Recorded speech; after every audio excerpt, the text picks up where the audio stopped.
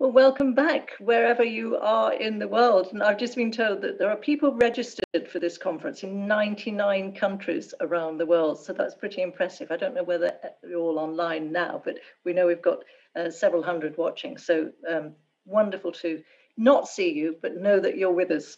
Um, we are talking here about the role of online marketplaces in protecting and empowering digital consumers. It's something that we touched upon in the first session, of course, but we're going to really dive a little bit deeper into this whole issue of e-commerce because we know that there's, been this explosion in the use of online marketplaces uh, during COVID lots of benefits for consumers, but we also want to look at the role of the marketplaces themselves in protecting consumers when we're talking about unsafe products and scams, unfair or misleading conduct, all sorts of issues that affect consumers.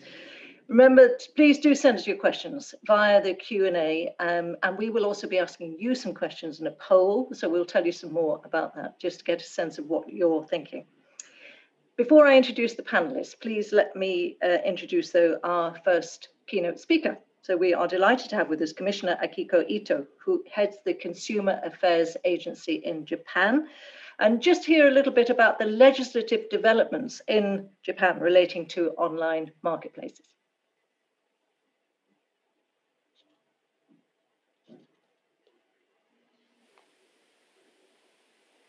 Good afternoon, everyone. I am Akiko Ito, Commissioner of the CAA, Consumer Affairs Agency of Japan. It is a great honor for me to have this opportunity today.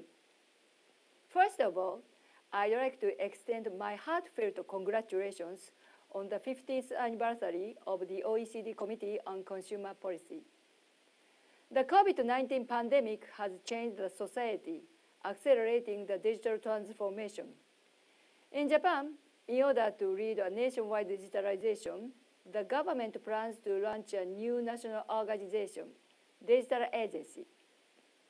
Empowered, the government is tackling issues related to digital platforms in order to ensure market competition and protect consumers by regulating the activities of eh, digital platforms.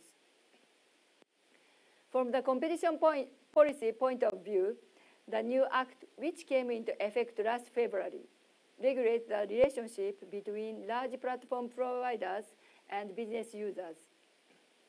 From the consumer protection point of view, taking into account a rapid increase in consumer affairs consultation related to the online marketplace, which is becoming a vital tool for consumer life. We have been taking two legislative approaches. Firstly, we amended the existing act to introduce more severe punishment for deceiving consumers in e-commerce. Secondly, we passed a new act this April, the scope of which covers all digital platforms, regardless of business size, products, and services. The new act sets out new obligations and rights. Firstly, the obligations for digital platforms to endeavor to take consumer protection measures such as investigation in case of consumer complaints and identity confirmation of sellers. Secondly, the right reserved to the CAA to request digital platforms to take necessary measures such as removing unsafe goods and services from their sites. Thirdly, the consumer's right to request information disclosure on business users to digital platforms.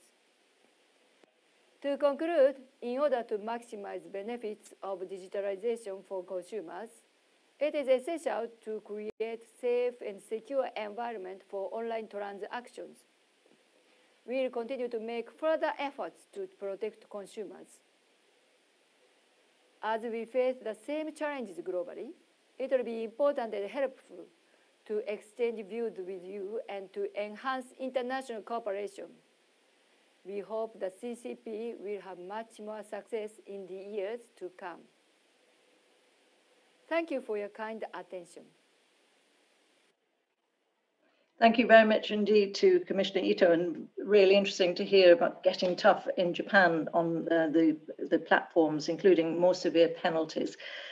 So let me now introduce our panel for this session. We start with Dr. Christine Riefa, who is a reader in law at Brunel University in London, specializing in consumer e-commerce and new tech law, and also serves on the United Nations Working Group on Consumer Protection in E-commerce. Welcome to you. We also have with us Nils uh, Behrndt, who is Acting Deputy Director General in DG Justice and Consumers at the European Commission, also still Director of Consumers, so in charge of developing the European consumer policy, not single-handed, I think, Nils, but you're in charge. Um, Carletta Ooton is Amazon's Vice President for Product Assurance, Risk and Security. So all about establishing global standards and policies and uh, managing emerging risks and issues. So it'd be very interesting to hear your take on what we're talking about today. Christian Printzell Halvorsen, CEO of Finn.no. Um, although it's called Finn, it is actually Norwegian, uh, Norwegian marketplace site, website. Um, and you're also European VP for Nordic marketplaces for Schibsted which is the media group and now classified marketplace site group. So it's a, it's quite a big group. I saw on your your CV that you started programming computers when you were eight, which I think is pretty impressive. I don't know whether there's anyone can beat you on that, but it was very impressive. James Kirkham, uh, General Counsel at the Catch Group, which operates catch.com.au, one of Australia's largest online marketplace platforms, which launched in 2017 and you um, have led the creation of Catch Group's product safety and compliance function uh, across the whole of the group portfolio. So welcome to you again, and, and somebody else staying up very late to be with us, so we're very grateful. And a bit closer to home, or from where I am, because I'm in Brussels, Monique Goyens, who is the Director General of BEUC, the European Consumer Organization, representing 45 national consumer associations, 32 European countries. And also Monique is the current EU co-chair of the Transatlantic Consumer Dialogue, which is a network of EU and US consumer organizations. And the person who is going to be moderating this is Andrew Hadley. And he is Assistant Director of Policy and International in the Office of the General Counsel at the United Kingdom Competition and Markets Authority. A very long title, Andrew, but you've been there for more than 20 years. Uh, and I know that you're involved in all sorts of other elements of consumer protection, including the OECD Consumer Committee. Um, so I am going to hand it over to you. And as last time, I will come in at the end and we will look at Josh's uh, artistry that uh, he's going to be summing up in pictures and I will do a bit of sum up in words. So Andrew. Thank you very much, Kathy, and um, it's a it's a real treat um, to to be here today. I'm delighted to be working with such a distinguished and expert panel, and incredibly impressed with the um, attendance so far and all of the, the new um, techniques that people are, are using, the, uh, the, the, sketching, the, the, questions. So please, um, hope you can stay with us. Um, please do put your questions into, uh, into the chat. We'll come to those at the end. Um, even if we can't take the questions, I think the panel will be very interested to hear and see what, um, what other issues people are, are, interested in and it will form part of the record. So very much encourage you to, um, to put those questions in. So we're, we're going to build a bit more on the, the market market trends discussion that we had uh, in the previous session, and to focus a bit more on the uh, on online marketplaces and shopping online, as opposed to um, simply um, transacting or uh, interacting online. Uh, and what we're going to start with is to look in, in, a bit more detail at the benefits that uh, online marketplaces have brought um, to consumers. Um, for example, convenience and, and, the breadth of products, um, but also the role in, in protecting and empowering consumers that we've heard um, we've heard about in the opening session and, uh, and, and, the previous the previous discussion. Um, the OECD has been looking at um, online, mark, online marketplaces in particular uh, since 2017, um, which we started with um, a consumer survey on trust in peer-to-peer -peer platforms, um, which um, did find that consumers experienced problems, but nevertheless continued um, to use them to purchase, rent, or swap goods and services, particularly around accommodation, transportation, and, and indeed a, a broadening um, set of uh, products and services. Um, more recently, we've um, we've been looking at um, at the particular uh, benefits and challenges, and to work out how to trade those off in particular. So I'm guessing uh, that most of you listening um, shop online regularly. I know, I know, I, I certainly spend a, a, large amount of my time online, not not, not just at work, but outside of work as well. Um, and that that's brought um, the possibility um, of accessing services from all over the world, um, different products. Um, and we really want to highlight those uh, and to talk about potential new services. So it'd be really interesting to hear, particularly from those uh, on the uh, from the marketplaces themselves, several of which are represented on the panel about new offerings that are coming up as, as we move we move ahead. We do want to balance that with a bit of discussion about the, the possible challenges uh, and to hear from uh, consumer authorities uh, and the marketplaces and indeed uh, wider representatives about how we resolve those issues and continue to ensure that marketplaces can offer um, um, a, a, platform in which consumers can trust and invest their money.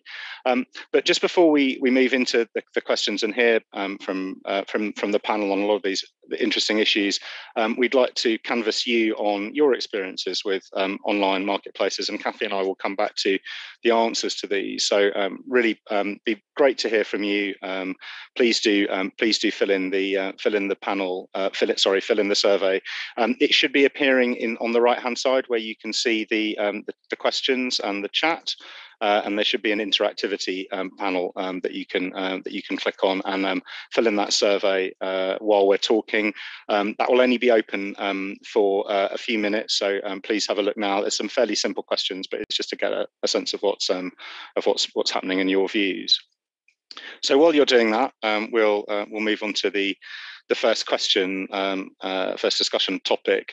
So we're going to look at um, consumer benefits uh, from from online marketplaces in particular. There's, there's obviously, as we've heard um, already, a, an enormous expansion in the amount of um, commerce that is happening online. That's been um, expanded even further by um, lockdown and the fact that we haven't been able to go to, to physical shops. Um, but it seems to be a trend that's likely to continue. Um, there was a, a 2019 survey that found that digital marketplaces generated around 47% of online sales, and we would be reasonably confident that that's gone up quite dramatically in, in, in the last year uh, year or two. Um, so um, I'll ask I'll ask some questions about these um, uh, about these benefits, and we'll start with um, with Christine. Um, could you um, perhaps give us an overview of the, the different types of of online marketplaces that consumers uh, engage in today? Great. Um, thank you, Andrew, and, and to the organising team at the OECD for this exciting afternoon ahead of us. Online marketplaces, as we call them in this panel, are effectively quite numerous. Um, they're quite different from each other, but I wanted to situate them before we heard from our speakers um, exactly what segment we are looking at. So we can think of online marketplaces as a subcategory, a subgroup of online platforms. Um, if you direct yourself to the OECD web pages on consumer protection and digital, you find a couple of reports that will help you um, get to grip with this market and, and, how it functions. Notably, one on an introduction to online platforms and their role in the digital transformation. And there, that talks about all of the platforms available. But what we are focusing more precisely on this afternoon are marketplaces. So those are e-commerce platforms um, that are also explored in OECD um, documentation, notably a report on, on unpacking e-commerce, looking at the business models, the trend and policies. And in that report, you'll find that there's a, a, distinction to be made between the business models that facilitate purchases between buyers and sellers, alongside the development of sub, sub, what, what we call subscription e commerce, as well as some as some online and offline models. So this afternoon, we pay particular attention to platforms that facilitate purchases, and we have some representative of those platforms, Catch, Finn, or Amazon. Um, but I wanted to point out um, that the panel is not perhaps complete because there is a surge in social commerce, um, more and more transactions that are taking place, shopping that is taking place on social media platforms. And we heard a little bit about um, Facebook in the, in the previous panel. So perhaps um, that situates where we're at and what we are talking about right now. Oh, thank you so much, Christine. That's a really um, that's a really helpful start um, to understand understand what we're talking about here and that that greater focus.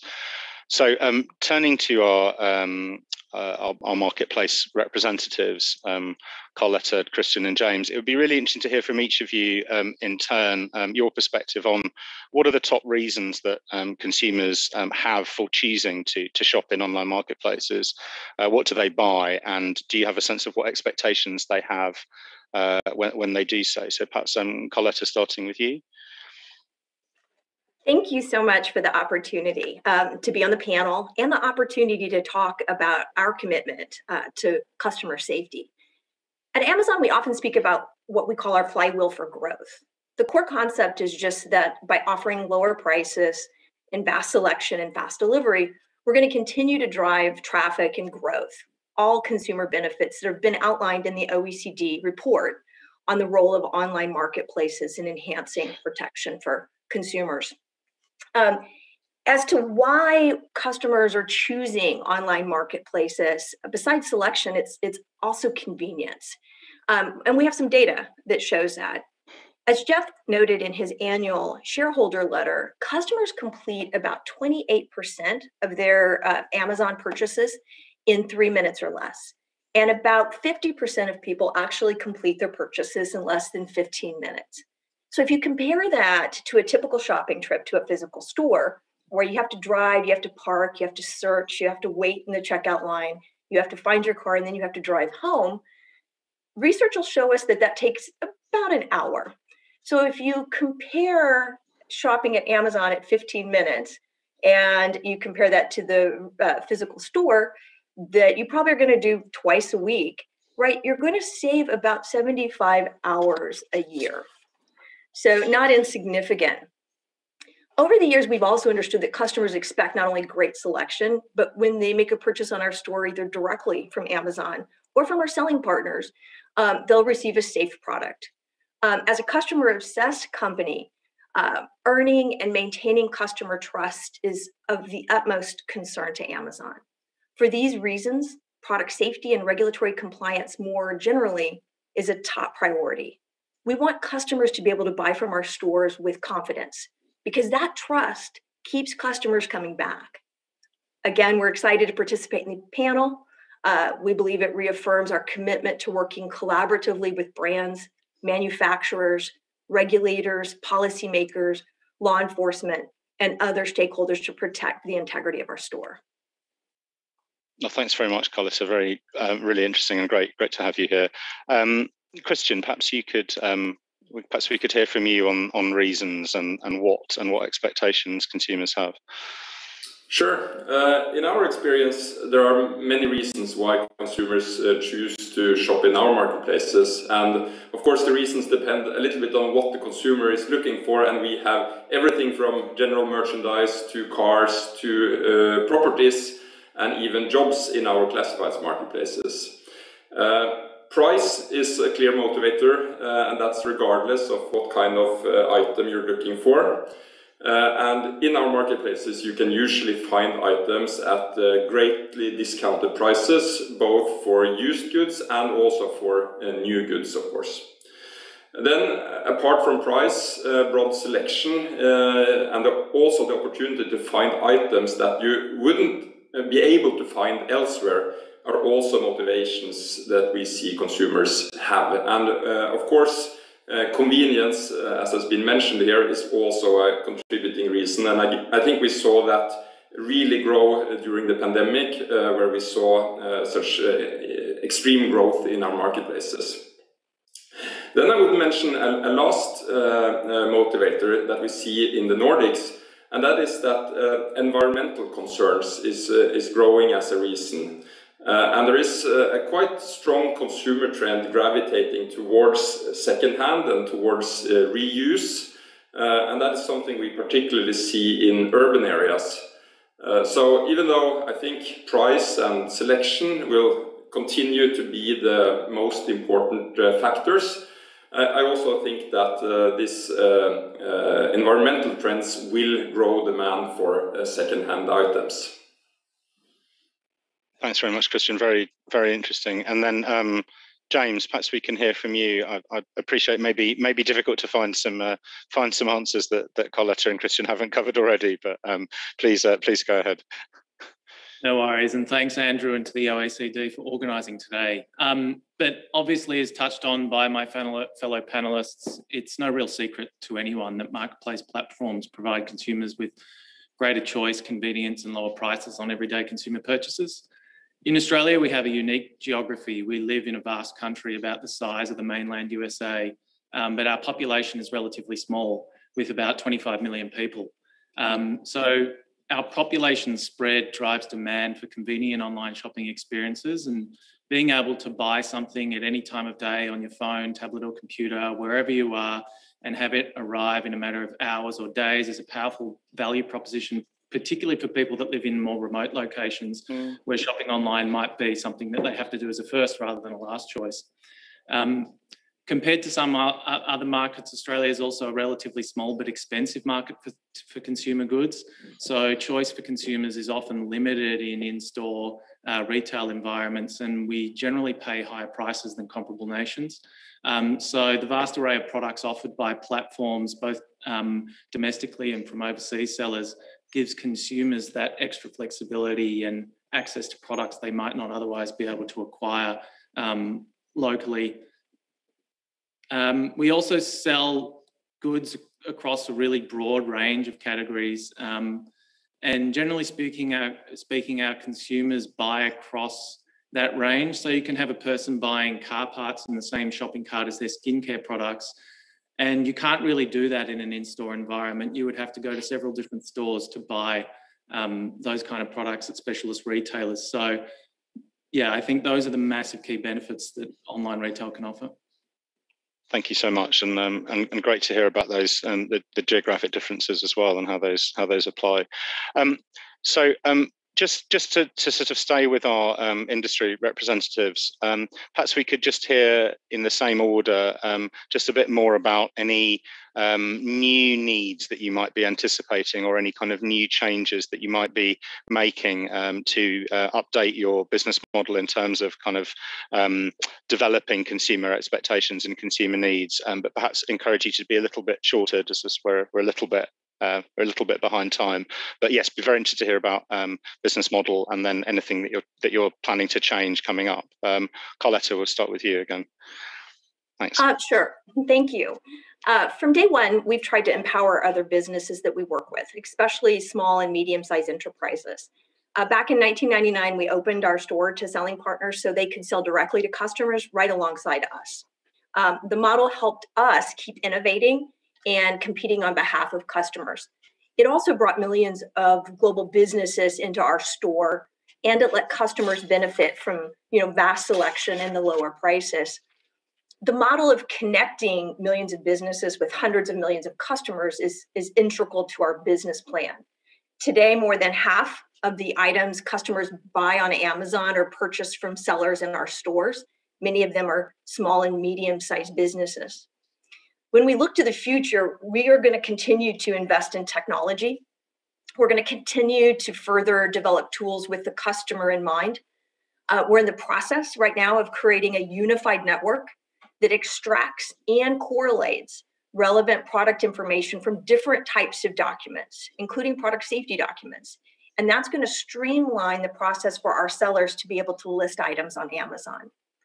Additionally, as both image recognition technology and natural language AI improve, we're going to be able to leverage them even more to be precise and proactive with our tool set.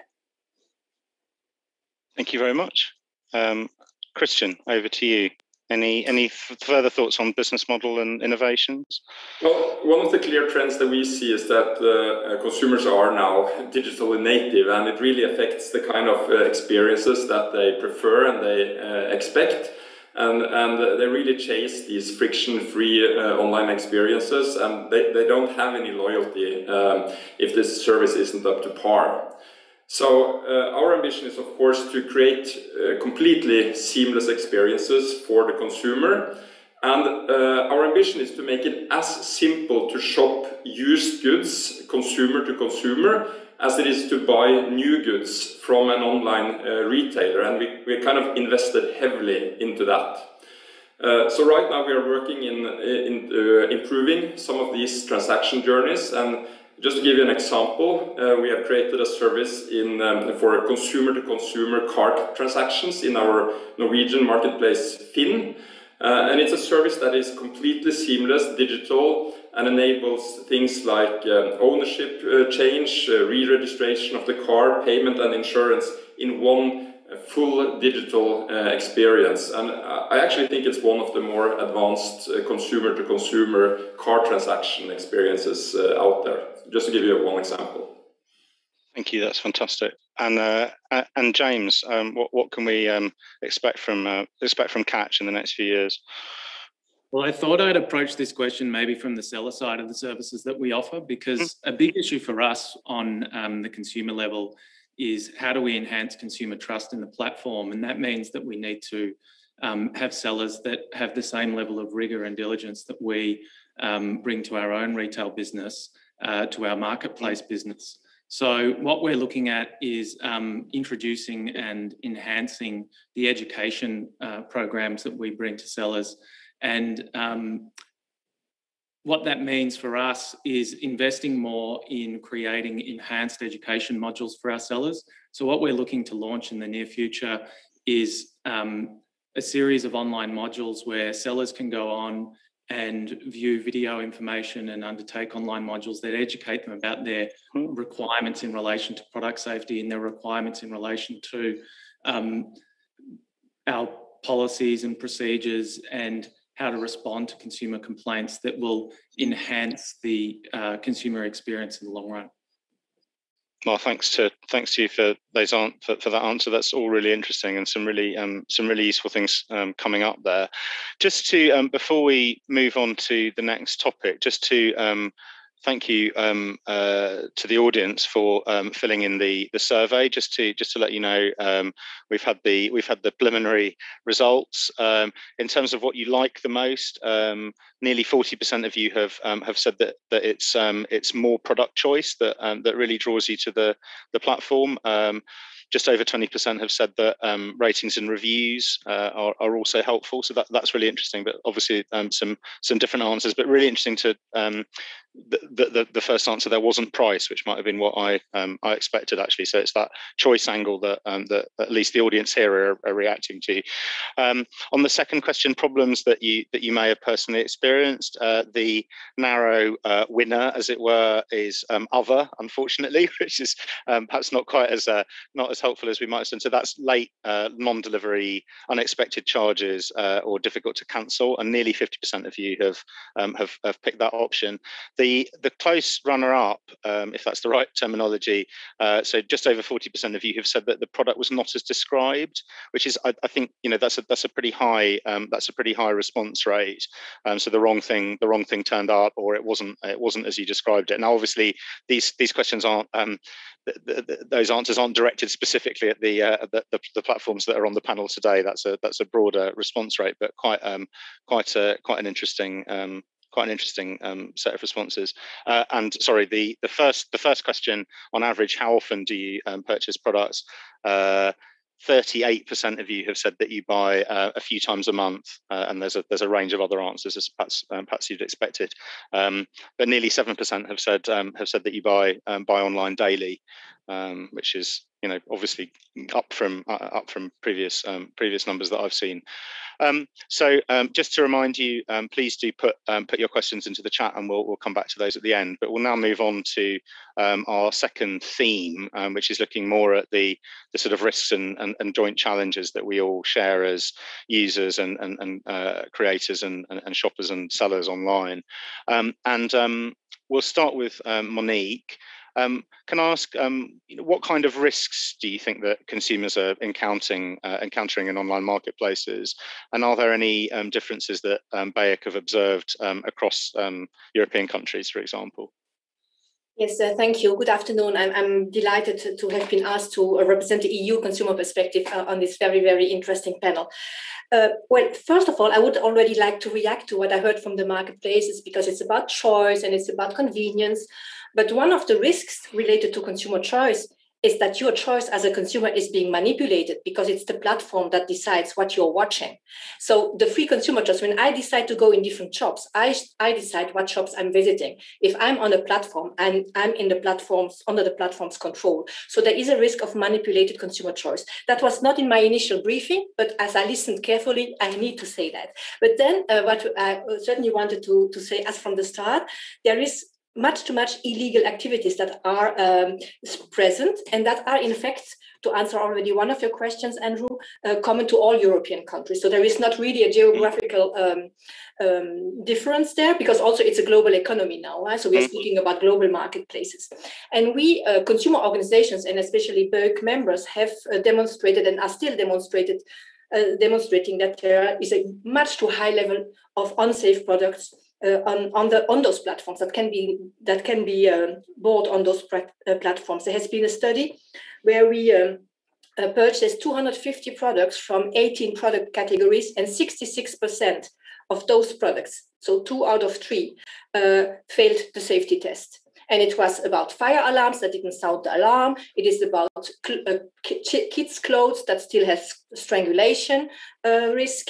It's about uh, Christmas trees uh, lights that can uh, you know get you electrocution. So there is a lot still going on, but unsafe products, and I can go on, but I only have two minutes, so I respect my time unsafe products are not the only problem. It's also about other violations of consumer rights.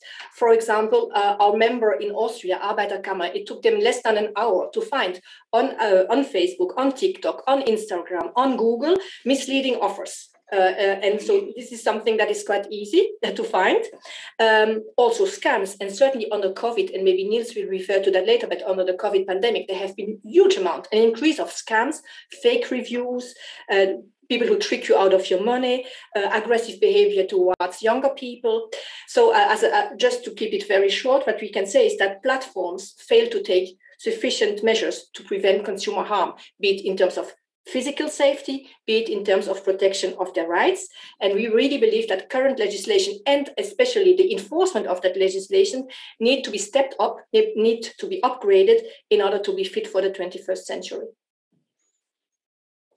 Thanks very much, me. Um, uh, you've covered a, a, lot of ground, uh, a lot of ground there, and I'm sure there's um, there's some things that people would like to react to there, but perhaps we can weave uh, weave that into the discussion as we as we go ahead.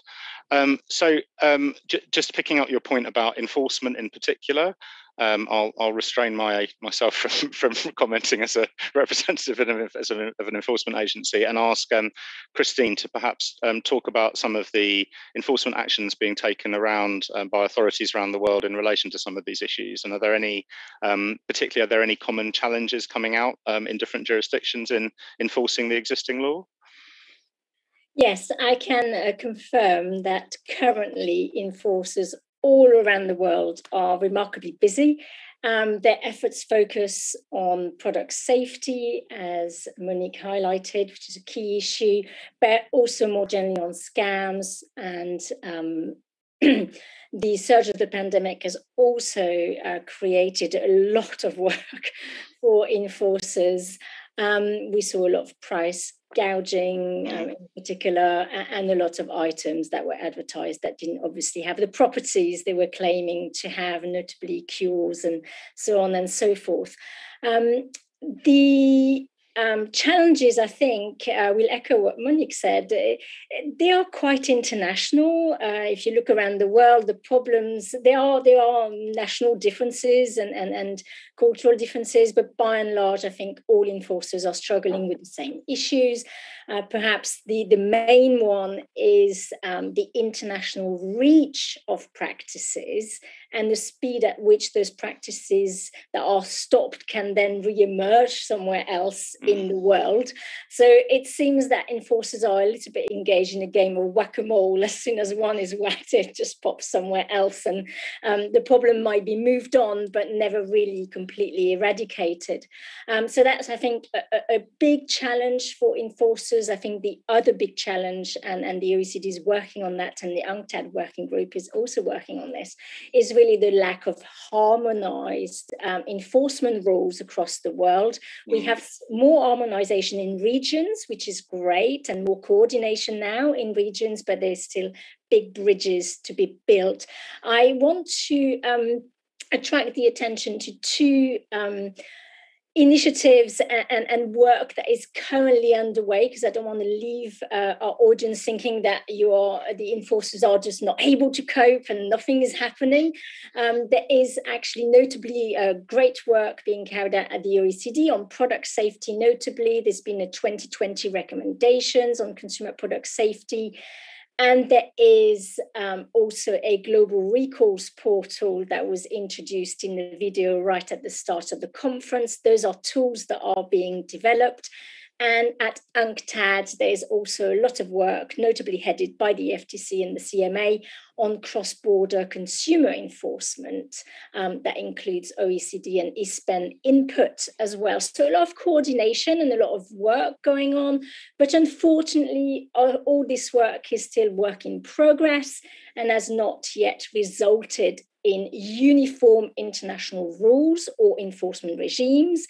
What that means is that for consumers, it's still a little bit confusing um, because you could be using an online marketplace uh, and not necessarily understand that your rights can differ depending on where your seller is located or depending on where the marketplace might also be operating mm. from. So I think still a lot of work um, to be had, but I can reassure everyone that the enforcers are very busy. Well, thanks very much for the, the vote of confidence, um, Christine, and also for, for that very helpful overview. It was a, a tough question to ask you to sum up global enforcement in uh, in one session, so thank you very much. Um, just, just to highlight to those that are interested in those um, points that you made rightly on product safety and cooperation, that there are separate sessions, um, you know, coming up tomorrow and, and Thursday, looking specifically at those where you can you can hear more about both of those. But thank you for highlighting both of those points. Um, so turning now to to Nils, it would be it would be really interesting to hear about some of the, the, the challenges that the European authorities have been grappling with, particularly uh, when it comes to uh, consumer protection in online marketplaces, and, and in particular how, how, perhaps connecting some of these back to the the challenges um, raised by, by, by Monique in her answer. Well, thanks a lot, Andrew, and uh, good afternoon, everybody. Um, indeed, I think that the, the, the challenges that uh, we in the European Union are facing, they come from two angles from one side, from, from the business uh, side, from the platforms uh, themselves, but from the other side, also, let's say, from the governmental response. Looking at the business side, uh, apart from the sheer volume uh, of the, the transactions uh, that is happening, it's indeed also um, uh, the, the complexity, the diversity, and the fast changing structure of the, the online trade and the, the of the business models. Just three three points. First, mm. um, and that's the point that um, uh, I think Christina already made. Uh, we have marketplaces inside and outside the EU, but having them outside the EU is already a total different ball game. You don't have a person to talk to. If there's a problem, you sometimes uh, even consumers, market surveillance authorities don't find the person to reach out. Uh, it, it, it's much more complicated. Plus, you have a direct delivery into your territory, but that means also that the customs can't uh, often control at the borders properly uh, whether the products that come in comply with the requirements, product safety, etc. Meaning that you shift responsibility on control from the borders to the, uh, let's say, inside the, the market controls. And for this, the, the authorities are not yet fully equipped. The second point is that the marketplaces themselves have different roles. And uh, Carletta uh, referred to that. Uh, sometimes they're intermediaries, but sometimes they're partners, traders themselves. Mm. Again, yes, that's fine sometimes, but it also raises tensions uh, possible competition issues and sometimes for the consumers unclarity who is really their partner. Third point the changes in this online trade. You have a trader that appears. You enforce against the trader. The, the, the next day the trader has disappeared. Uh, in particular if uh, this trader is outside your territory. The day after another trader comes up similar name but of course you can't immediately prove that it's the same trader but still you find the same product so th there are quite some changes coming from the business side, but also from the uh, governmental response side, a couple of challenges. Um, first is that sometimes we have conflicting policy objectives. Of course, we want to make sure that consumer rights fully are enforced online like offline in terms of pre-contractual information, withdrawal, complaints handling, product safety, whatever.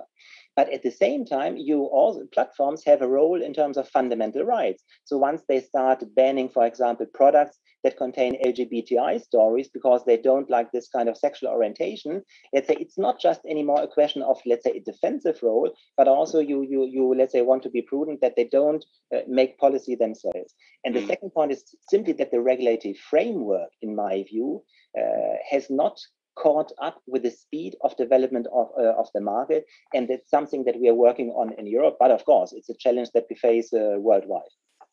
No, thanks very much, Nils. I, I, I, certainly a number of those, well, all of those points are things that I'm, I'm, um, I've come across in my my time. So thank you, uh, thank you for highlighting those. And I think it's really interesting to to point out the the, the sort of tension with government's um, policy objectives as well, and that there's lots of different things we need to to trade off here, as well as just consumer rights. Although that's obviously what we're sort of focused on in this in this discussion here. But uh, thank you again. So um, having heard about some of the risks and challenges from from the the, the sort of uh, the, the, consumer and the um, authority perspective. Uh, we can perhaps go back to our industry reps to hear about um, what kind of challenges uh, that they're facing and how how those are being uh, how those are being dealt with. Um, and I mean, I guess you know, is it is it just as simple as being tougher uh, and you know, removing removing traders who break the law from uh, from your marketplace? And perhaps we'll start with with with Christian this time. Well, I wish it was that uh, simple, but it, it isn't. Uh, so, first of all, let me just separate between uh, professional traders, so B2C, and uh, individuals, so consumer to consumer trade. Uh, and when we talk about consumer to consumer, uh, some of our online marketplaces, like Finn in Norway as an example, is just so expansive and so integrated into the Norwegian society that being banned from it has uh, quite severe uh, repercussions for the individual. So if you are banned from Finn, as an example, you are effectively hindered from buying a car, uh, renting a house, even applying for a job uh, in Norway. So as you can understand, uh, being banned is such a heavy penalty that we have to make sure that we have uh, solid legal grounds for it. Then another point is that uh, the option to ban someone uh, it can't be uh, contingent on having a fully committed crime, so to speak. So, in the instance of uh, ongoing fraud, we have to be able to ban um, uh, a user quickly and uh, effectively to protect the other person from harm. So, some of the, these cases they have to rely on past behavior.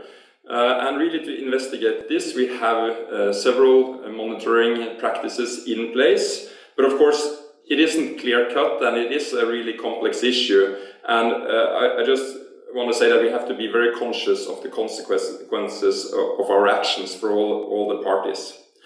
And finally then, when we, when we talk about professional traders, uh, it's uh, equally important that we have uh, sound legal grounds to act because if a trader here is, uh, is um, banned, uh, they risk their whole uh, business, their whole income, and it can even lead to bankruptcy. Uh, so again, we have to be very certain that uh, banning them is uh, the right thing to do, and we also have to give them some option to appeal or argue their case before the suspension goes into effect. So it's it's a quite time-consuming and rather frustrating process both for the marketplaces and, uh, and for uh, the traders and uh, certainly the consumers as well. Um, thank you very much. Um, very, very interesting. And, and I think we'll return to that um, B2C, B2B um, question, I suspect, um, later on. Um, perhaps I can turn to Carletta next. So for us, you know, a violation of our policies uh, can and often does result in the removal of offers up to and including the removal of selling privileges. We do this in order to protect the customers that visit the Amazon stores. Um, as I mentioned earlier, uh, customer safety is a top priority, and we want to make sure that customers are confident I, I, you know, aside from kind of what we do and how we do it, I did want to um, just spend a, a quick minute on something Christine mentioned, and I think it's super important and it relates to the challenges, right? Um, I think this is something, again, there's a lot of opportunity. One of the challenges is the lack of harmonization. And, and I do think OECD is, is perfectly placed to help tackle that. Um, for a global company that you know does businesses in many jurisdictions, Amazon has a ton of rules to comply with. And we want to comply with the rules, right? We invest heavily in our safety and our compliance programs. Um, what I would say is that the fragmentation and some of the difficulty when you look across jurisdictions and across authorities and the highly matrixed compliance ecosystem is that a lot of that complexity, um, a lot of those challenges really don't help consumers, right? Um, it doesn't create a level playing field and, and actually rather it adds complexity and administrative burden. Um, I also think the challenge of recall notifications is important to, to highlight.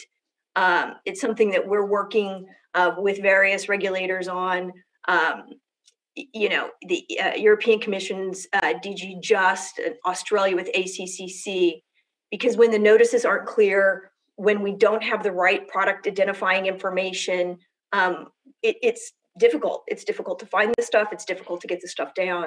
Um, I think I would point folks to a recent uh, eSite uh, study that helps provide more insights on the topic. Uh, but we we certainly look for um, help, guidance, uh, and partnership uh, for a minimum standard for recall notifications.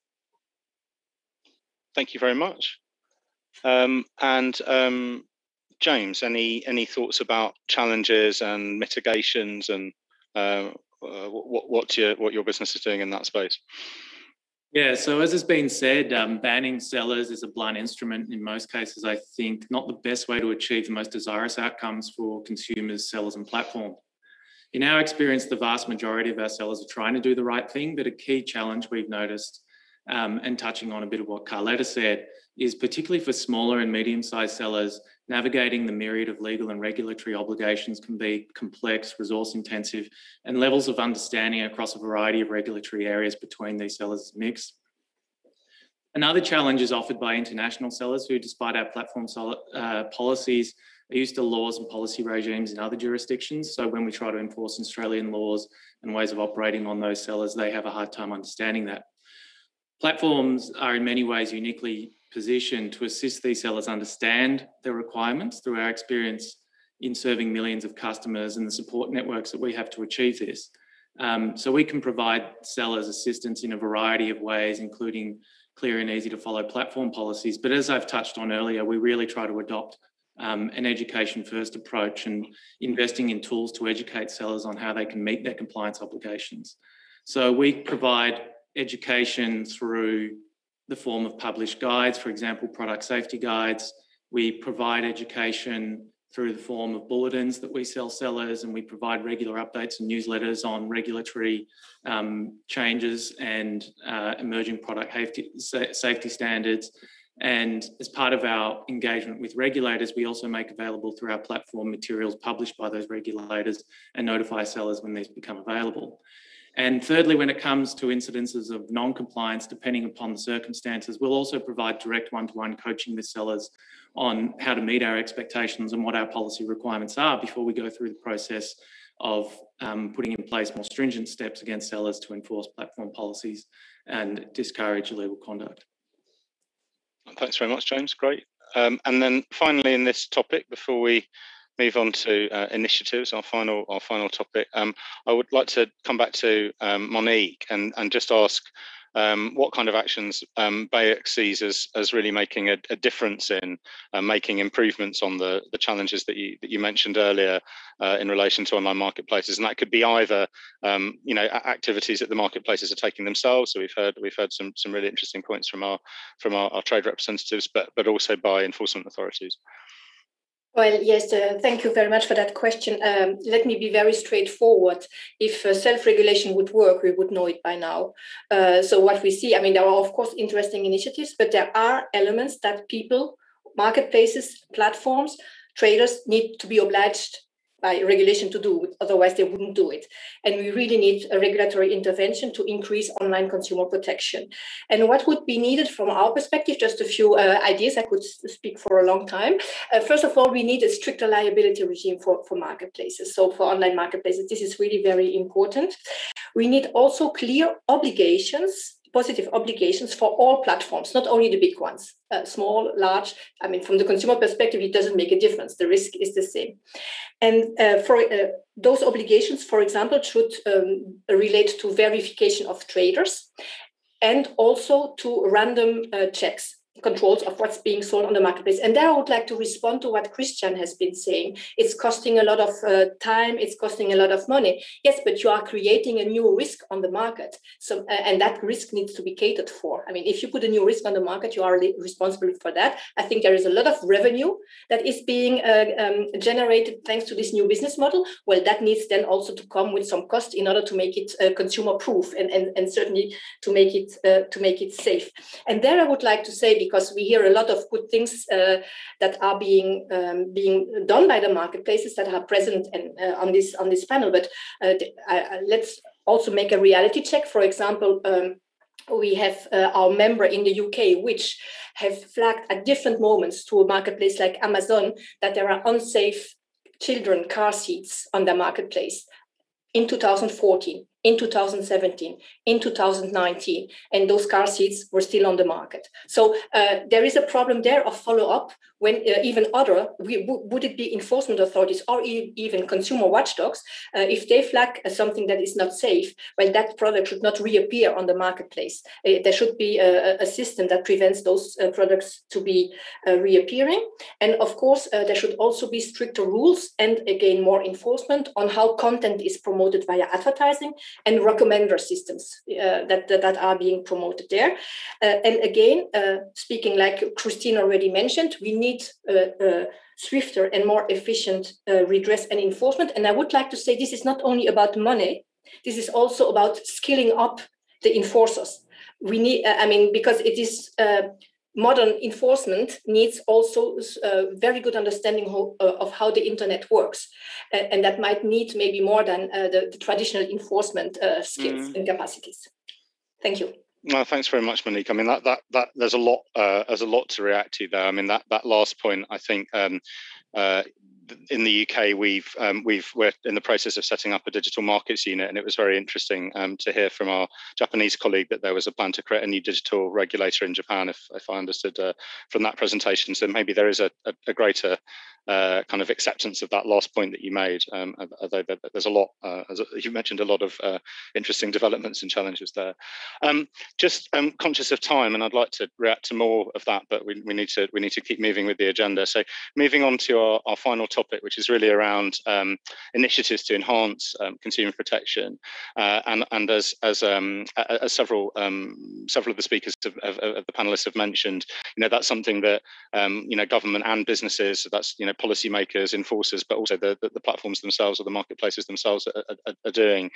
Um, and that um, obviously historic sort of interventions in this space and certainly the sort of older school um, uh, way of looking at enforcement was that it was all about transparency and it was enabling giving people uh, the information they needed to to, to make um, uh, to make those kind of decisions. But obviously, the more there's, there's, there's perhaps a risk that the more we kind of mandate particular disclosures or requirements, the the more we might um, the more we might limit the ability of those firms to sort of innovate and to come up with the um, you know the, the, the great um, the, the, great changes that we've seen in the last in, in the last 10 years in particular and uh, some really positive innovations.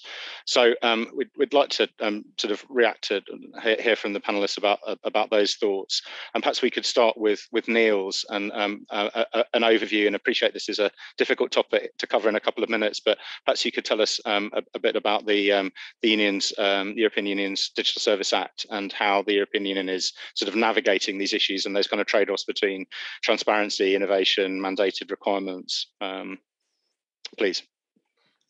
Sure, with pleasure. Um, indeed, uh, we are pursuing a couple of, of uh, legislative initiatives at the moment in the European Union, precisely uh, to, to update the, the legal framework, uh, as I mentioned before.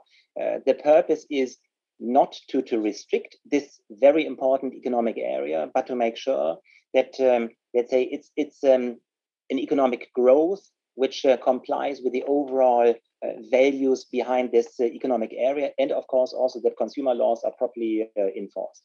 The Digital Services Act uh, would be, um, it, it's a proposal currently discussed in our, uh, let's say, legal institutions. Uh, it's a proposal which amends the current rules on, on online marketplaces. Um, would apply across the board, so not just for consumer uh, policy issues, but really for, for all uh, underlying issues. Um, but from a consumer perspective, uh, there are a couple of very important improvements that the DSA would bring. One example, um, platforms would be obliged to, to um, uh, foresee compliance by design, as we call it. So they would have to be designed in a way that um, traders can comply with their pre-contractual information in, uh, obligations as well as information on product safety. Very important because the platforms determine whether um, those um, uh, traders can comply with their obligations. Second, um, platforms also will have to um, uh, know their business customers. They, um, they have to have, uh, let's say, a verification uh, of whom they're dealing with.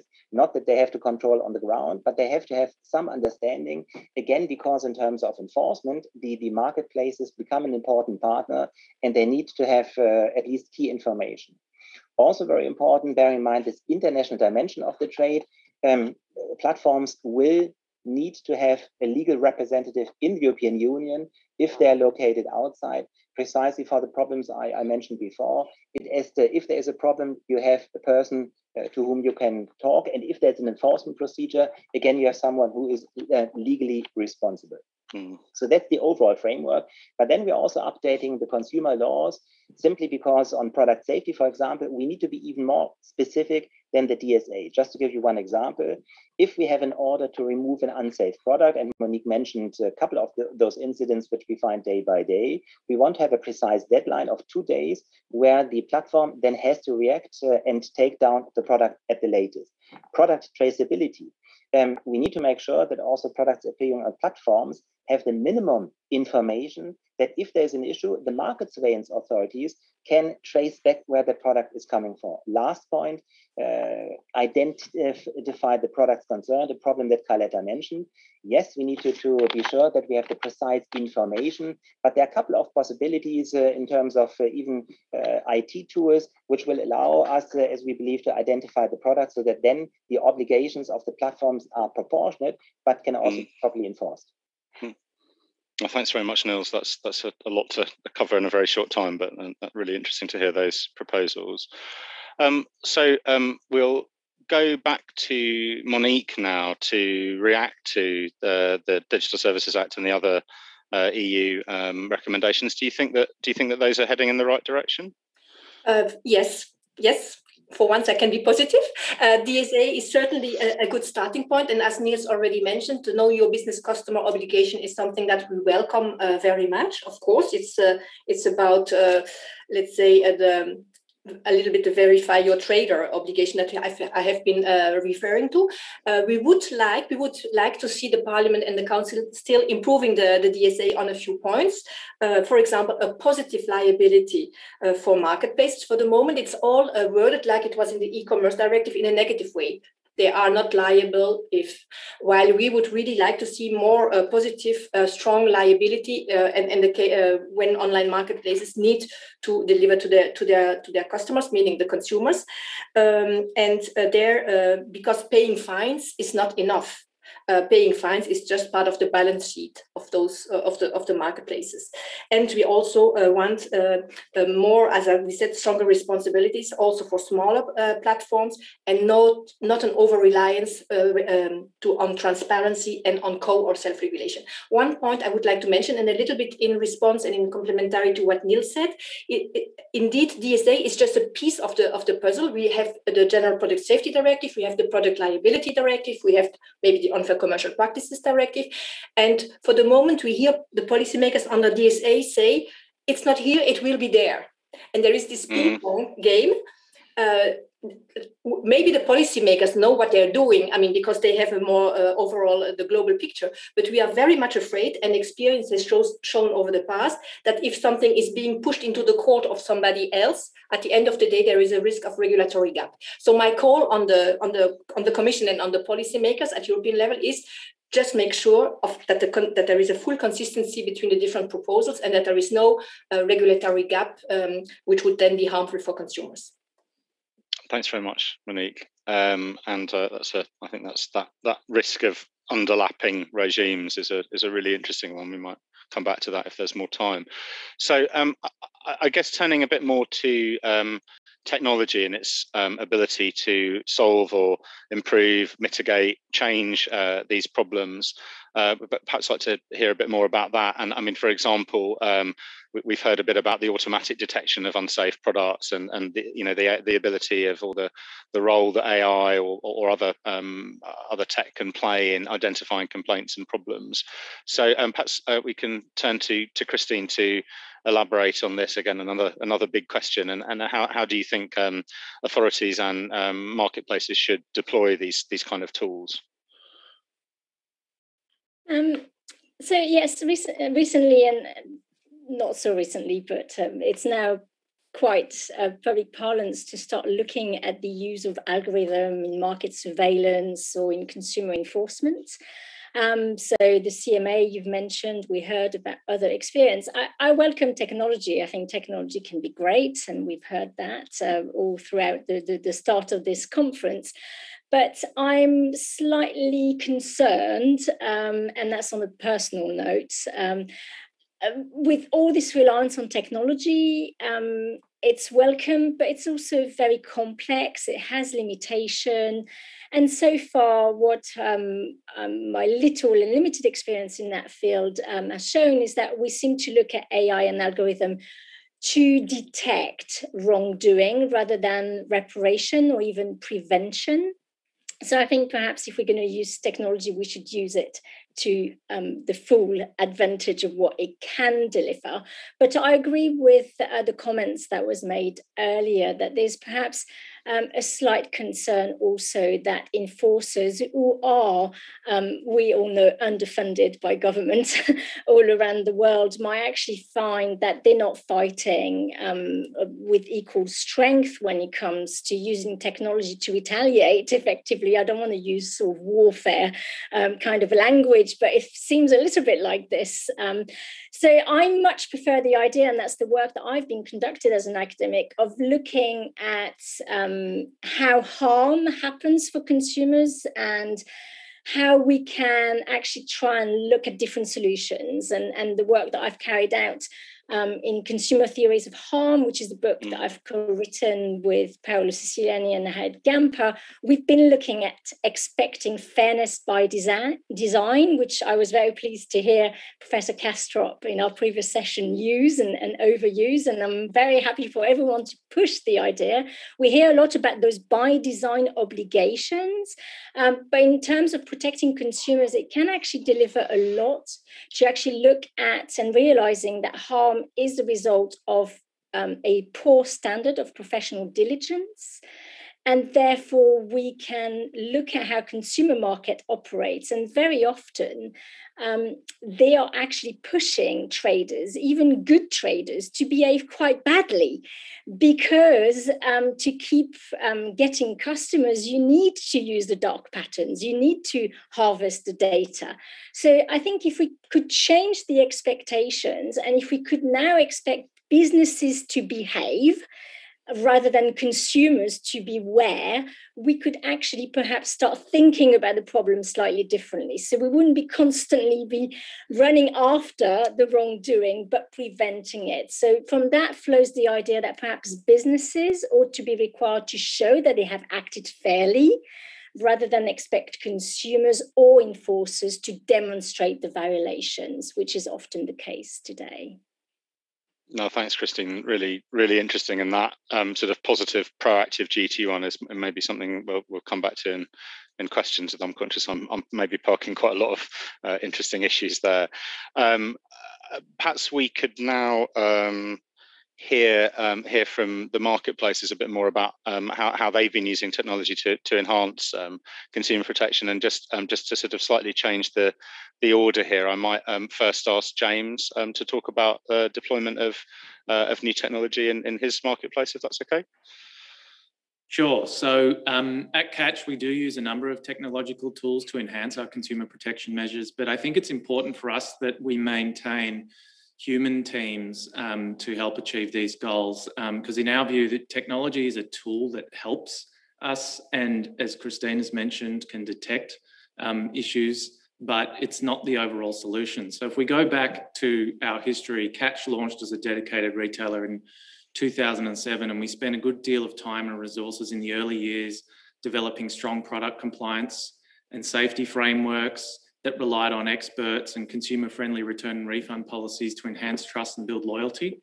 And when we launched our marketplace in 2017, we decided early on we wanted to keep that experience consistent across both business um, models. So while also recognizing that we're relinquishing a lot of the controls that came through those um, human processes to trying to scale our platform. So to attempt to maintain this, this consistency, um, in consumer experience and consumer protection standards. In addition to the education programs I've touched on, we introduced a few key measures that we use to, be, to bring that consistency. So first of all, we're not a self-service marketplace. Self-service marketplace. Sellers must go through a vetting process that includes checking their product catalogues for compliance with relevant product safety standards. So we adopted a risk tier-based approach that uses software-based me mechanisms supplemented by a product safety team that filter product catalogues, identify regulated products, and we then audit these sellers um, using those human teams who then ask for things like test reports to demonstrate compliance um, with their obligations. And after a seller has been listed on the platform, we then conduct uh, targeted product safety audits based on particular risks that we identify or emerging hazards in the market and potential trends. So these audits include mystery shopping, physically checking products, uh, or placing requirements on sellers to provide us certain information about the products that they sell. Um, and then we also there implement system level filters where we can block out, for example, banned products based on keywords or images, for example. Um, but we look and we look to expand the use of AI and algorithmic tools to enhance capturing unsafe products. Um, but we think it's always important to maintain a human touch to exercise complex judgment calls that require expert opinion. There's an attractiveness of platforms to rely on technology to do the work of people, and I think that's a scalable solution. But in our experience, particularly um, as a smaller platform among some of the global players, the best outcome still from engaging that personal touch, engaging those experts, um, and engaging that experience that we've lived through the last 10 years of operating the platform. Thanks very much, James. Um, so, um, Christian, um, thoughts on new technology and initiatives supported by technology? Sure. Well, uh, let's start by saying that uh, we do have uh, quite a few security measures in place to protect consumers in our marketplaces. So uh, the human touch has been mentioned, and we also have dedicated consumer protection teams to uh, to protect consumers from fraud. I also thought the discussion on identification was interesting because I believe that an improve an, an important way to improve Safety is to continuously develop our systems for validating and verifying uh, identities. Mm. Uh, so if you are registering as a consumer-to-consumer -consumer, uh, user on our marketplaces, the only mandatory information you have to fill in is actually an email address. However, uh, when you are doing something more risk-filled, like doing a transaction, we uh, usually uh, enforce you to verify yourself either by text message or by bank ID. Uh, and bank ID is a digital ID uh, issued by uh, banks uh, which verifies your true identity and which is widely used in the Nordics. So I, I, do think this is a way to pro provide some protection but uh, a lot of work uh, is also uh, in just improving the transaction journeys. And keep in mind here that a lot of our focus is on consumer to consumer trade. And uh, we do have rules and processes related to uh, safe products and what's legal to sell and so on. But most of our work is geared towards making sure that uh, consumers can trade safely with one another. Uh, so I mentioned the car to, uh, the car transaction uh, solution for C2C trade. We also have similar solutions for distance sales to make sure that both the, the buyer receives the product and the seller receives the payment. so that's usually where our efforts lie. Well, thanks very much, Christian. Um, and um, perhaps we could hear uh, um, a bit about um, Amazon's um, use of use of tech and any initiatives that might be supporting supported by that. Absolutely. Uh, so to James' point, though, I want to start out that we have at the core of what we do more than 10,000 subject matter experts, um, engineers, and scientists who are our, our program, right? But as I also mentioned earlier, we lean heavily into technology to enhance customer protection. So we already have programs in place to identify and remove products that are recalled. Um, we know that. But we also not only remove specific recalled products, but we take action on what we are uh, looking at as adjacent products. So while we continue to improve our reactive processes, I wanted to spend just a few minutes focusing on how we detect risk and take proactive actions to identify and limit risks, much to the point Christine said was an opportunity area. Uh, our predictive technology uses both historical and present day reactive data, and it, and it actually helps us build the basis for this proactive tool. Um, so for example, a little bit about how it works. Last year, we consumed uh, approximately uh, 67 million pieces of customer interactions every single week. Things like reviews or chats or phone transcriptions of calls. We take that data and we continually identify groups of related items based on common characteristics. If we see a flag on a red item, we know immediately it's going to link to a group of related items, which then allows us to proactively suppress the related items until we can investigate them further too. Uh, it's especially useful when we have newly added items to our catalog where we have few points or few pieces of information uh, to guide our risk analysis. We have developed tools uh, that are statistical, which help us kind of get to um, a risk estimation um, for new products that have no customer data or no seller data as well. When we use this predictive modeling, we're able to calculate um, risk predictions for most units and take the corrective actions before the units have ever been shipped, uh, removing potentially unsafe items from customers uh, before they can even see them listed in our store. So that allows us to both scale, which I heard mentioned, I think Christian might have mentioned it, and focus. Um, instead of working on billions of active products, we instead narrow it down to this, this small fraction of active selection in our catalog. In a, um, maybe put another way, we're confident that the vast majority of items in our catalog aren't going to raise potential issues, which frees us uh, frees us up to use our significant resources, if you will, on the relatively small portion of items we've determined uh, are more likely to be problematic. That's really interesting. Thanks very much to, to all three of you for, for sharing that. Um, I hope you haven't given away too many um, too many commercial uh, secrets there, but um, really really interesting. Just a, a, a, a, second question for, for the marketplaces and just to encourage you to perhaps um, be a little bit shorter, we're perhaps a little bit behind time, um, just on the cooperation between government authorities and marketplaces, which I know uh, certainly uh, my own organisation has been engaged with a lot more and more direct conversations, and that um, Nils mentioned in his, um, you know, the, the, the, DSA proposes establishing this um, point of establishment to ensure that those conversations can take place. But perhaps just a minute each on on how cooperation between um, government authorities and marketplaces could be improved uh, in practice uh, perhaps um, starting with Nils? Sure, happy to do. Um, yes, we believe that there is definitely space for voluntary cooperation between uh, governments and, and platforms. We need, uh, let's say, clear uh, regulatory framework, but beyond, there is space for voluntary cooperation. One example was a voluntary safety pledge that we entered in the past, where Amazon, for example, takes uh, part, and uh, lots of other platforms, big and small, where um, the platforms committed voluntarily, for example, to respect this two-day deadline, which now we want to make law. So let's say you can go further than the law foresees because the law sometimes is a bit behind. You of course mm need to catch up, but the, the uh, voluntary pledge can go beyond we should reflect together whether we should go even further because the online business is not just a question of product safety, that's one particularly visible area, but uh, at the end, consumers should be protected uh, overall as correctly online as offline. So could we go even further and see on consumer rights more horizontally? And even in the context of Corona, of course, suddenly uh, the, the products popped up left and right with all kind of bogus claims. We didn't have regulatory tools, but platforms helped us to take down uh, millions of, of uh, bogus claims and products. This kind of cooperation is critical in a fast response.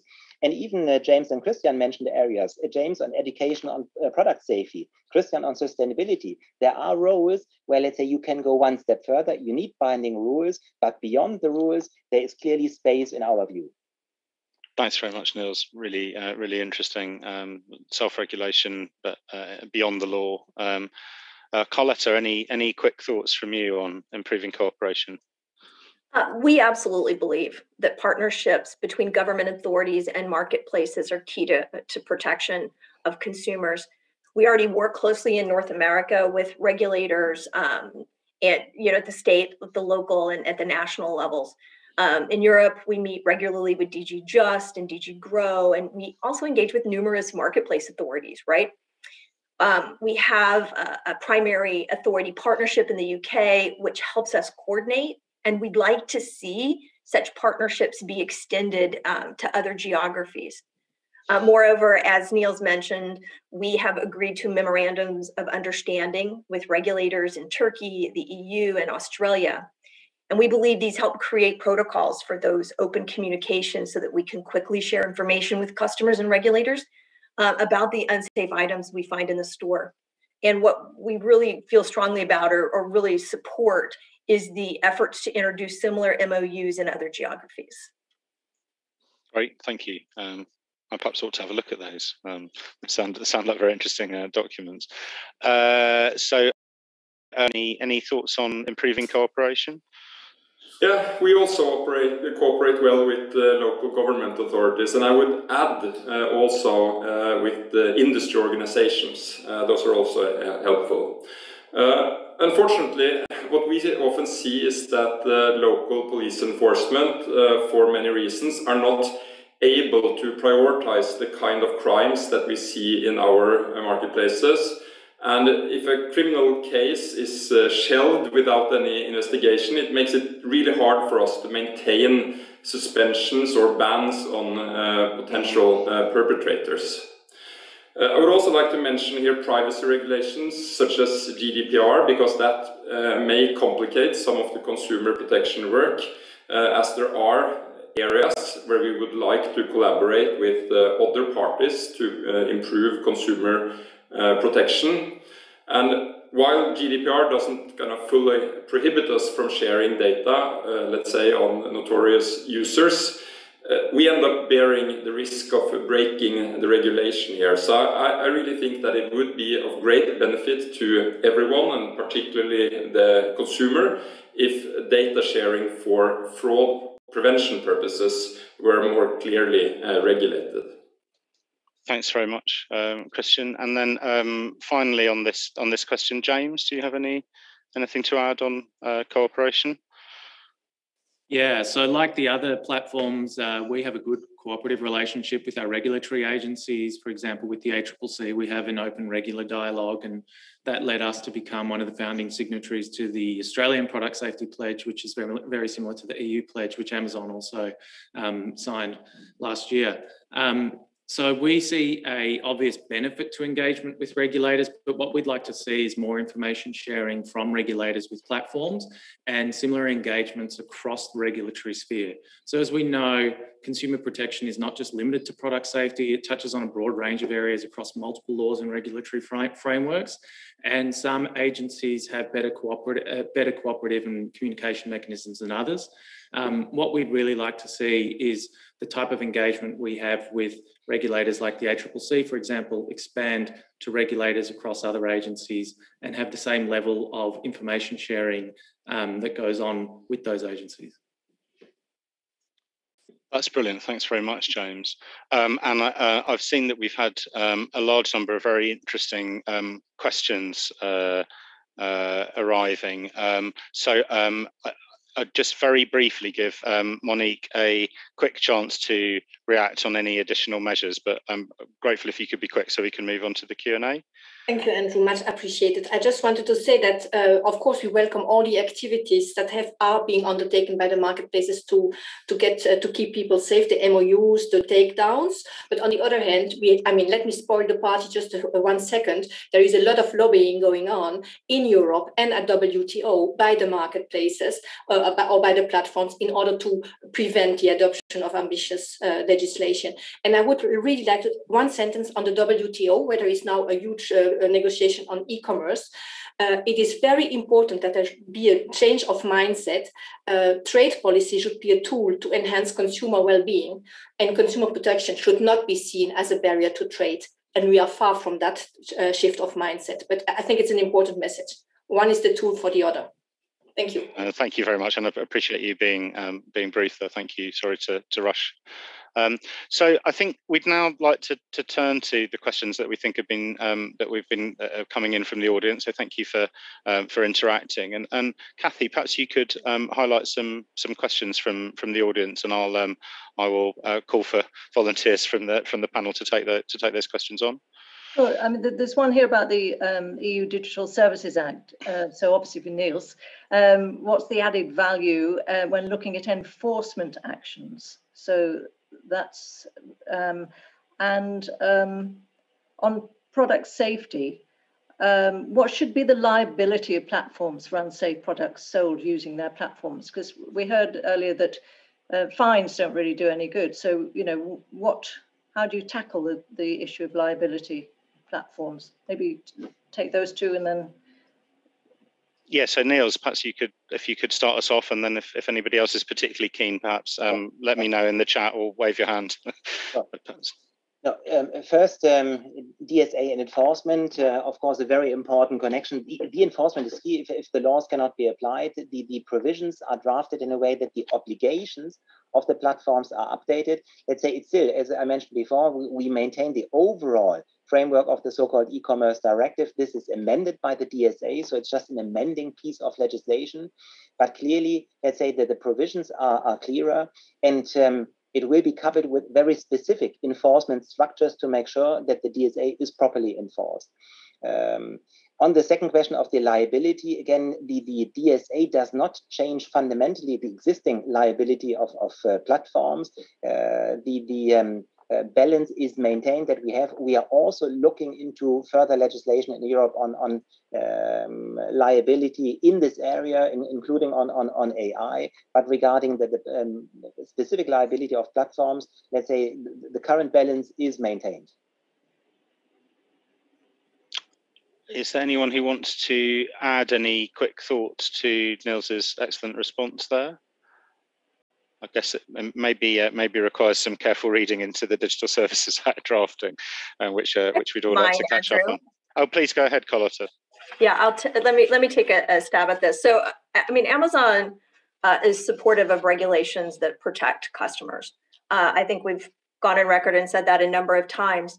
We also support the DSA and its aims and overall approach to maintaining uh, successful limited liability regime uh, what our concern is, um, is the legal uncertainty that could be generated from the possible overlap between the Digital Services Act and the General Product Safety Directive. And so um, for us, what we think is it's really important is to um, have a level playing field across all of retail. Um, and that's why having some of that embedded in the DSA is, is of some concern to us, at least the way I understand it right now. Thank you very much. Um, are there some other questions, Kathy, yeah. that we'd like um, to turn to? Another question here, which is uh, how is consumer harm collated? And there's also one specifically um, about Australia. So have you analysed why there are higher costs for products in, in Australia for in-store over online marketplaces? Is it taxes or other costs? So how do you collate consumer harm and also why are prices different in Australia? Or I'm sure everyone, well, that's specifically about Australia. So we'll perhaps come to, to, to, James on that second question in a, in a moment, but perhaps um, um, Monique or Christine would, would like to have a have a go at that first question on the collation of consumer harm. I just have a, a stupid question. Collate, collate, can you give another word for that? Because uh, I'm not English native. How, how do you actually um, aggregate all together and and uh, I suppose you know build a picture, a full picture? I see Christine has raised her hand. Go ahead, Christine. Thank you. Uh, yeah, I, I think uh, that's actually a, a, a very uh, big problem. Um, there are um, so enforcers all around the world have got their own systems. Uh, very often the systems of enforcers can be pretty reliable and solid, but what you find is that to catalog consumer harm and know where it's coming from, it's not just enforcers. So we're not just talking about public enforcement, we're often also talking a lot about private enforcement and consumers going to ADR or going to court and that's where it becomes very complicated, uh, where there is no standardized way of um, being able to say that, for example, if we talk just about a scam, that might not even have been subject of any action from a consumer, uh, the way they are uh, collected um, is not always the same. So mm. I looked at scams a, a, while back, and it's impossible to build a real picture and collate some figures overall because every country and then within countries, every type of enforcers might have a different system. So something that might be a online dating scam um, is uh, perhaps just um, online services, and that's the category they get put in. So um, it's really hard then to to go into the granularity of, of what the problems are. So at the moment, um, from my experience, there is nothing really available. I know there's been some initiatives here and there to try and harmonize um, this, but it's still very difficult um, to do that. Yes, I mean I, I, that certainly chimes with my even even within the UK we have very different ways of collating um, and, and gathering and measuring consumer complaints, and that's even more difficult when you add in this issue about um, harmonisation and different rules across different jurisdictions. But yes, there are conversations happening within OECD and ICPEN and UNCTAD around um, how, how, we can move this forward, both in terms of public and private enforcement. Um, no, thank you, um, Christine. Um, perhaps we could turn to, to James on this, um, uh, explaining the, the higher prices for consumer products in Australia, if that's not too uh, stereotypical or, or, sort of uh, targeting uh, targeting you too much. No, that's fine. And I think this is this is sort of a hot topic in Australia, and there's actually been parliamentary inquiries into this particular question. But as an online business that also operates as a retailer, I can speak to this from some experience. Australia is simply a high cost economy to do business we have a high wage base, so we have a high minimum wage, but we also have high wages for um, retail workers. Um, we have expensive rents because land is cheap because most, uh, I mean, land isn't cheap because um, most of the um, um, land on which you can live is along the coast and I think about 80, 85% of the country is a desert that you can't really live in. Um, and the distance factor is another um, issue. So actually getting products to consumers is, ex is, is, expensive. We're also generally seen as a high taxing economy. So there are um, issues related to um, sort of the cost of compliance um, in Australia that, that add to cost, but overwhelmingly it's, it's more to do with um, wages, distance and um, the issues around geography. Thanks very much. Um, There's just one question here specifically for Carletta from Amazon about uh, dispute resolution and the dispute resolution mechanism. Um, somebody writing a, a, PhD, but I mean, it's still, it's very interesting because, you know, how many disputes do you approximately resolve? You may not know this, Carletta, but is the negotiation phase fully automated or is a human involved? Because we heard how important humans uh, are in when uh, from catch in catch. Um, and how many disputes need intervention of a third party? You probably don't have the statistics for this, but just could sort of give us sort of sense of how you deal with, with dispute res resolution. Yeah, it, it's a great question, and I don't have the stats at my fingertips. It's not an area at Amazon that falls under my organization. But what I would talk about, I think briefly, if you haven't heard about it, is something that we call at Amazon the A to Z guarantee. So what the A to Z guarantee means is that you will in time get to a person, you will be able to talk through your issues. And it's just super simple. Um, it doesn't matter if a customer's bought something from Amazon or from a third party seller. Um, Amazon's going to ensure that the customer gets taken care of. Uh, and in the case of a third party seller, Uh, if this third-party seller won't cover the cost of the item and take care of the customer, Amazon will do that for the customer. Um, and I think that's maybe kind of a, a, pretty general answer, but I think it's the protection and the foundation behind the, the intent of the question. Thanks very much. Maybe maybe time for one more question, Kathy. Uh, yes, uh, yes, I think so. I'm just we're just getting messages on timing, but I think yes. we're till four o'clock. So um, let's have a look what else there is coming in. Um, and we've dealt with those ones. Uh, I think we've we've actually answered most of the most of the, the questions that I can see here, because we've talked about coordination um, between mm. government and consumer regulatory bodies in in the mm. discussion. Mm. So, um, so I think we're we've sort of dealt with all the audience questions anyway. Well, that's that's excellent. Thank you very much for your help with that. Um, so, um, well, thank you um, to all the panelists very much for your um, well-considered answers and your, your thoughts. It's been really great to hear from so many of you, uh, and we've covered a huge amount of ground um, very quickly. Um, and uh, I'll hand over to um, to Kathy to to sum up and um, lead us into uh, the the next session. Thank you.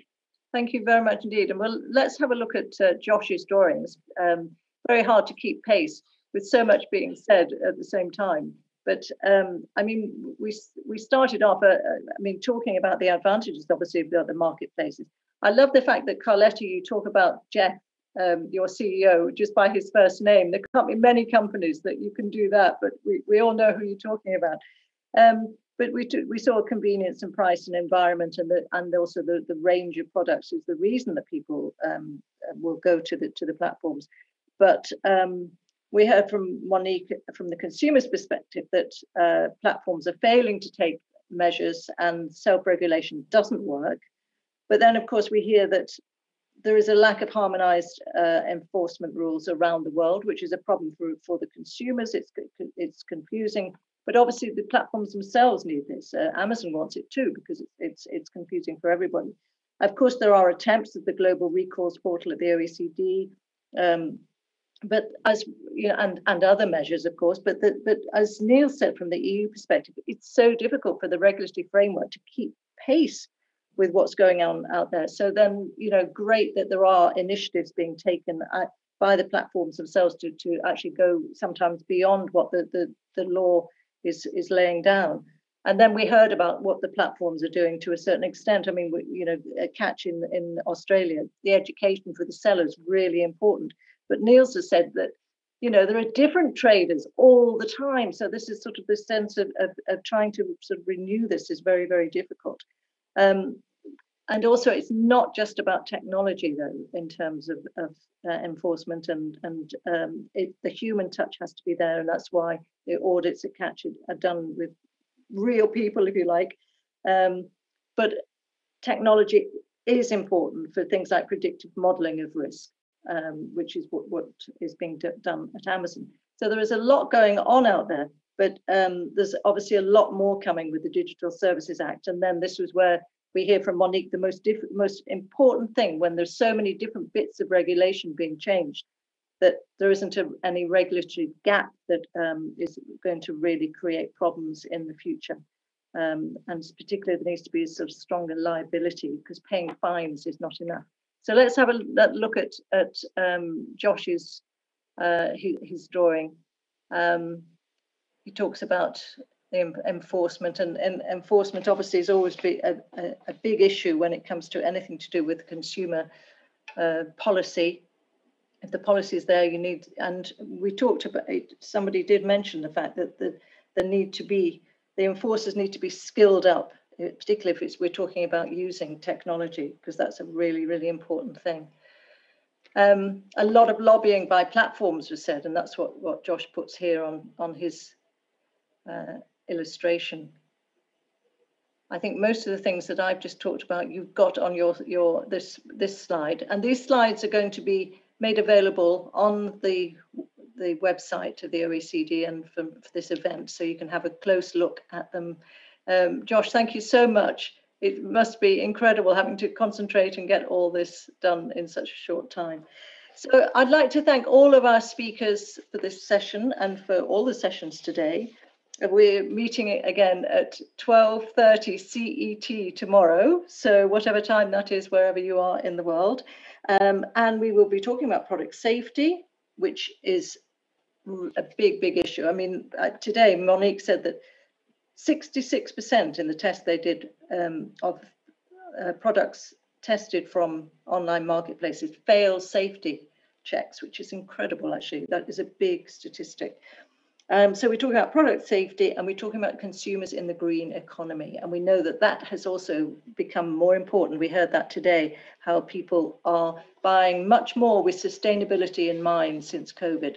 So um, it'll be very interesting to hear what happens in those sessions. So we'll see you at 12.30 CET tomorrow. See you then. Thank you very much indeed. Bye-bye.